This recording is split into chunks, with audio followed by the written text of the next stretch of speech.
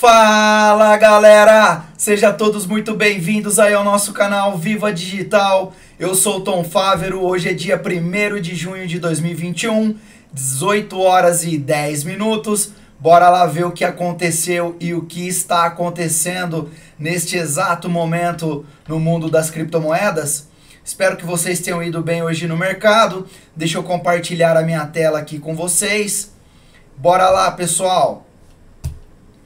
CoinMarketCap, total de criptomoedas ativas, 10.206 moedas. Capital de mercado aí 1 trilhão 611 bilhões. Volume nas últimas 24 horas horrível, né? 111 bilhões, muito, muito abaixo do que nós estamos acostumados, né? Acima de 200 bilhões, principalmente nesse horário. Dominância do Bitcoin 42.1%. Dominância da Ethereum 18,5%. Bitcoin neste exato momento sendo negociado a 36.340 dólares. Nos últimos sete dias aí uma queda de 3,55. Ethereum a segunda colocada, 2,576. Tá meio lateral Ethereum, né? Nas últimas 24 horas aí queda de 1,57. Tether a terceira, Cardano a quarta, BNB a quinta, Ripple a sexta, Doge a sétima, o SDC Coin a oitava, DOT a nona, Uniswap a décima.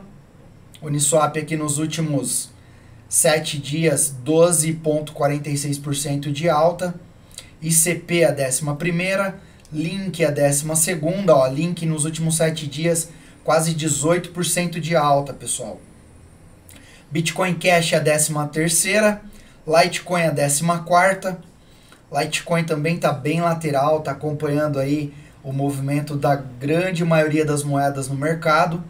Estelar a décima sexta, é, a moeda Binance USD, né? Que é o dólar, a stablecoin da Binance, 17 Solana 18 Ethereum Classic a 19 VeChain a 20 e Teta a 21 Bora lá ver o que está acontecendo com o mercado que não sai desse caixote.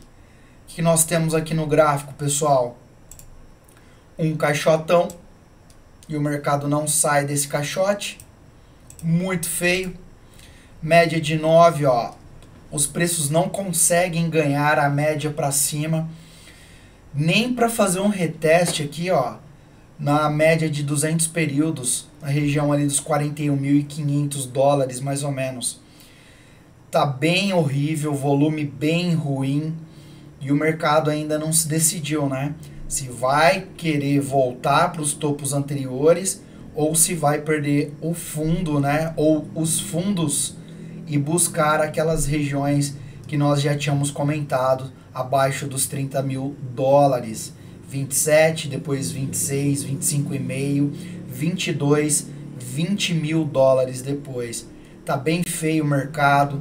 Temos uma linha de tendência de baixa aqui nessa região e o mercado não consegue ganhar a média de nove períodos. Ontem nós comentamos sobre o gráfico mensal. Se nós pegarmos aqui, deixa eu limpar. Então ele acabou fechando aqui, ó, Bitcoin acabou fechando acima da média de 9 períodos pelo mensal. É um bom indício, porém ainda ficou essa manchinha aqui, né? Desse, dessa região de suporte. Que nós esperamos que o Bitcoin venha fazer agora? Volte para retestar os topos. Senão, nós podemos sim ter bus é, alguns alvos, né? Aqui embaixo, ó, na região dos 19.500, 20 mil dólares. Lembrando, pessoal, que essas regiões aqui, ó, são regiões agora de suporte, 29 mil, 28 mil, 30 mil, mas tá bem feio, né? É, o mensal já começou aqui querendo perder a média de 9. O semanal ainda Nós estamos quase na metade da semana.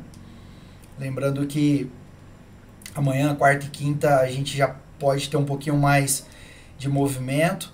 Mas se nós lembrarmos que isso aqui também pode ser uma bandeira de baixa ó, pelo gráfico semanal, e ele ainda está formando essa possível bandeira de baixa, então a gente precisa ficar atentos, porque se a gente pega essa amplitude aqui, a gente já começa a olhar para o Bitcoin com outros olhos. Lembrando que aqui também pelo semanal a gente tem uma cabeça, um ombro e pode sim estar fazendo um outro ombro aqui. Então, ombro, cabeça, ombro num topo, esse cara pode cair, né? Então, se a gente pegar aqui, ó, essa região de ombro esquerdo, cabeça e ombro direito que ainda não foi formado, ó, nós podemos sim estar formando aqui um ombro cabeça ombro pelo gráfico semanal. Tá bem preocupante porque o volume deu tchau.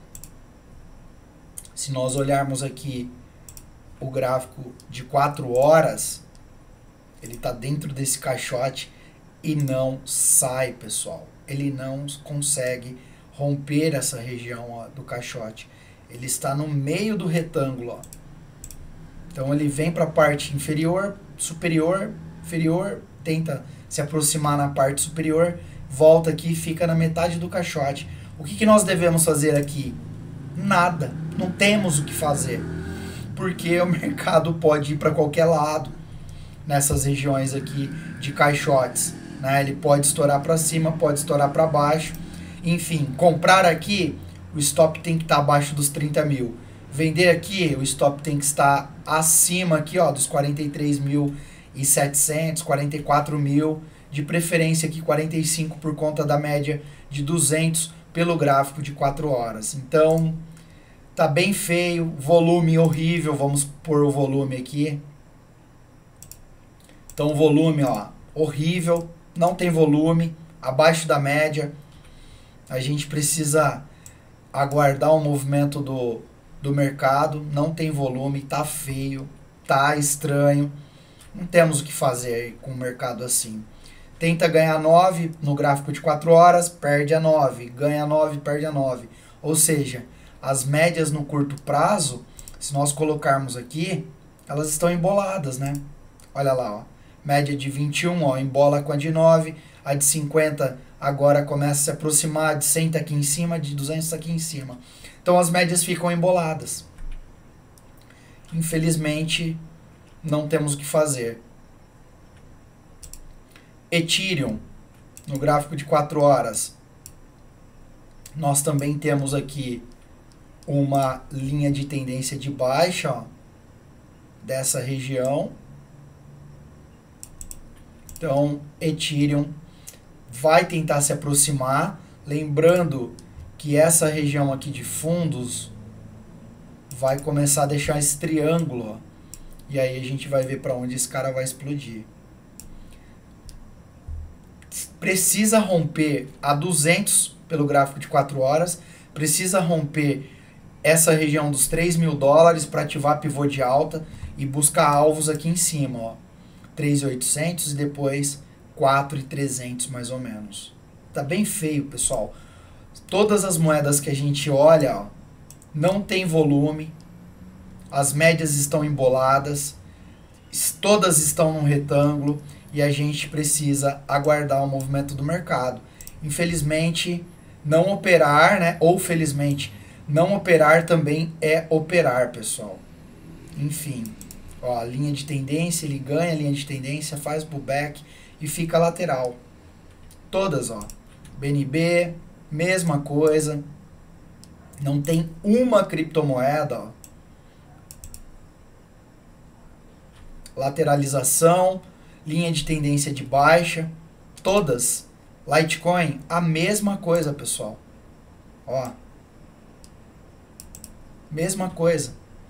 Vai deixando aqui um triângulo também, ó. E aí vamos ver para onde esse cara vai explodir, né? Cardano, mesma coisa. Se a gente pegar essa amplitude aqui de Cardano, ó, deixa eu tirar o volume, porque o volume morreu para todas as moedas. Ó.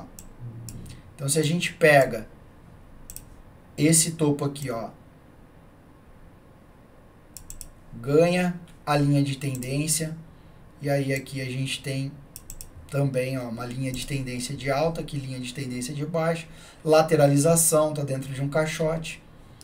Complicado, pessoal. Mercado horrível, volume ruim. Ó, Ripple, mesma coisa. Linha de tendência, ó, de baixa. Depois linha de tendência de alta. E aí o que, que a gente tem? Um triângulo. Ele tenta romper, volta e fica na, na, na região de lateralização. Muito ruim, ó. Chiles, mesma coisa. Doge, mesma coisa. Ó, linha de tendência. Rompe na lateralização. Aqui outra linha, ó. E não anda. Não anda, pessoal. O mercado tá chato. Todas as moedas, ó, que a gente tá olhando, ó. Então a gente precisa ter calma, não tem jeito, ó. A gente pega isso aqui, ó, linha de tendência de baixa, rompe, fica lateral. Linha de tendência de alta, ó. É perigoso ele perder, ficar lateral. Então tá horrível, pessoal. Qualquer moeda que a gente olhe, ó, todas estão ruins. Todas. Linha de tendência de baixa, ó. Linha de tendência aqui de alta, ó nesse fundo. Horrível. Não tem volume. Waves, a mesma coisa, pessoal. Vou pegar esse topo aqui, ó. Olha que coisa de doido. Waves não pode perder essa região aqui dos 10 dólares. Lembrando que se ele perde essa região importante aqui de suporte, Waves volta muito lá para baixo. Hein? Tem um buraco aqui para Waves. A gente pegar aqui, ó, tem regiões aqui de suportes, tudo, ó, mas volta para baixo dos 8 dólares. Tá bem estranho, pessoal, o mercado. Bem ruim. Não, a gente não tem o que fazer, né, com o mercado lateral. É muito, muito, muito ruim, pessoal. Não, a gente não tem muito o que analisar. A gente não tem muito o que falar. A gente precisa ter paciência. Felizmente ou infelizmente, né, galera? Deixa eu puxar a câmera aqui para mim, a tela para mim. Espero que vocês tenham gostado. Mercado bem ruim, bem chato nesses últimos dias, né? Ao longo da, do meio da semana passada, já tem alguns dias que o mercado tá ruim, sem volume, é, bem lateral o mercado. E para você que está chegando agora aí no nosso canal, por favor se inscreva, deixe seu like, deixe seu comentário. Nós estamos com a promoção quando nós atingirmos aí os mil inscritos, nós vamos sortear 250 USDTs. Serão cinco ganhadores. Cada ganhador vai poder levar na sua carteira 50 USDTs para fazer o que bem entender. Então, pessoal, é isso. Muito obrigado aí pela paciência de todos. Obrigado pela oportunidade de mais um vídeo. Um abraço, fiquem com Deus e até amanhã no nosso próximo vídeo de fechamento e análise. Fui, tchau, tchau!